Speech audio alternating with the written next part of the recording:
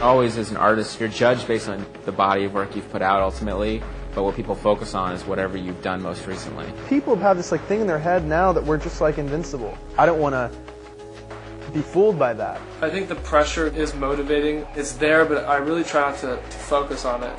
I'm more comfortable when there's a lot to be expected. I think we're all deadline or pressure performers. I want to like be in the mix. Have the pressure. It ain't no thing but a chicken wing.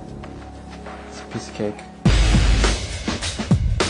The writing process, I think that we got started pretty early. I think we started like nine months before we actually started doing the album. That was really helpful because it took us a few months to get some of this garbage out of our system, you know? Like, it's like sophomore album garbage. Right, I wrote some, we wrote some terrible stuff, some really dumb songs. You gotta put your helmet on before you come back here because there's like a lot of construction going on. Like you saw on the DVD, we worked on the bus. Mike and I would just mess around with different ideas and, and a lot of times we'd write music that isn't even necessarily Linkin Park oriented. we came with a lot of stuff there. I think that we came up with some really cool guitar stuff and a lot of good samples. Mike's always involved in all the songs because he's kind of like the glue in that he knows how to use the Pro Tools rig and he's really good at working with people one on one in terms of putting their parts down. Just drag it out, remember. And when we write songs, we're not really a jam band. We won't sit there together and just like jam on our instruments and, and say, hey, that sounded cool, play it again, and we'll try and like all write stuff together. I think we would kill each other if we tried to do that. Somebody will start a song, come up with like a guitar riff, and then it can get passed on to the next person where they can take it and put it on their computer and sit there and write something to it. We record all the songs as demos before we actually go into the studio. So we actually have basically finished versions of the songs before we even start recording.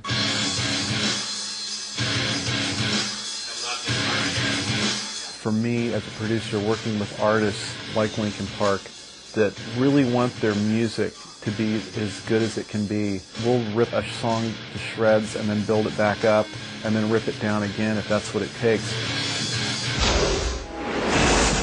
I'm gonna rock the mullet. Today is the first day of recording here at NRG. We're about to start the new album. We all decided to have a mullet contest. Rob and I decided that we would uh, make today our, our big our big finale, our grand finale.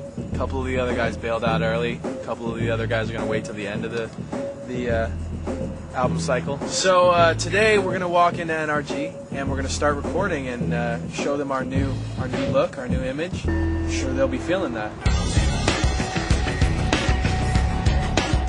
That's hot hair, dude. I love the hair. Gotta keep it real. This is this is NRG. This is where we recorded Hybrid Theory. We're gonna record another record here. 311, Papa Roach, Sugar Ray, Hootie and the Blowfish. And when we heard that Hootie and the Blowfish did their record here, that was the reason we came to NRG. Did you see that? 12 million copies? Uh-oh, the mullets are here. Howdy! Dude, we got these sideburns right here. A lot of thought went into it. Blood, sweat, and tears. Yeah, these were like like five months in the making. I'm telling you. You guys At least got nice t-shirts too. Yeah, you know, this really this worked out just last night. I was very excited about this. It's got air conditioning too. Yeah, it's got air conditioning. So we're gonna go into the studio now and and uh, Get started. get working. Right before I went to the studio, I was spending probably eight to ten hours a day practicing, almost seven days a week. I had dreams about drums. I, had dreams about drum fills that like I practiced the day before and I couldn't get right. It was just constant like drum craziness. Right now we're down at my rehearsal space. This is my drum set. It is a five-piece Gretsch. I have Zildjian cymbals, Gibraltar hardware, and I have Vater drumsticks. I also have triggers on my kit. All the sampled sounds that you hear on the album come out through these triggers. Right now I'm working on adding some new stuff to the kit. I just made a new space here for an 18 inch floor tom. It's a huge tom, it's gonna go right here, and when I hit it, it's gonna shake the floor. Every time I come into the studio, I take off my other shoes and I put on my drumming shoes. They're actually modeled after race car driving shoes. You can really feel the pedals and everything and gives a lot more control. Back here, I got a Pro Tools rig.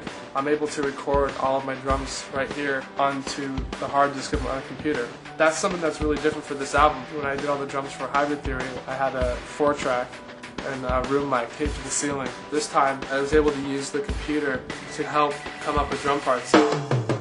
This is the kick drum right here, so you'll be able to hear every time a kick hits. And this is the snare, and this is the hi-hat. You can see right here, this is the hi-hat building. It's going from a verse part into a chorus.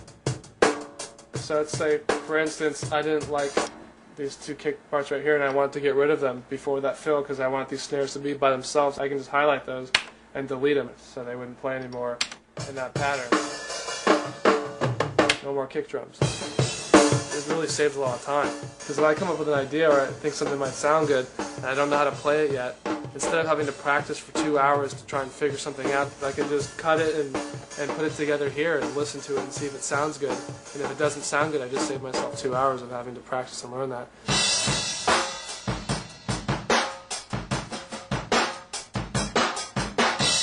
I think some people don't like that about it. I think it takes the musicianship out of writing music. I think it opens the door for a whole other world. Everything I have here is really only done for scratch tracks. It's only for writing purposes and practicing purposes here. The sound that you hear in the album is all created at NRG Studios.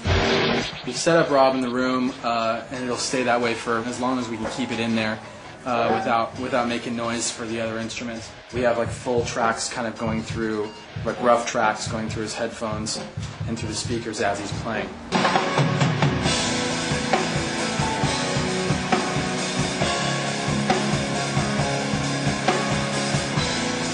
From Hybrid Theory to where he is now is two completely different people. The preparation he put into this record was, was unbelievable, and it, and it shows. He's really fast because he's really tight. Last couple times we went into studios to record, he only took three days, four days. This time, I'm figuring probably about four or five. Our songs are on the average 39% scratching.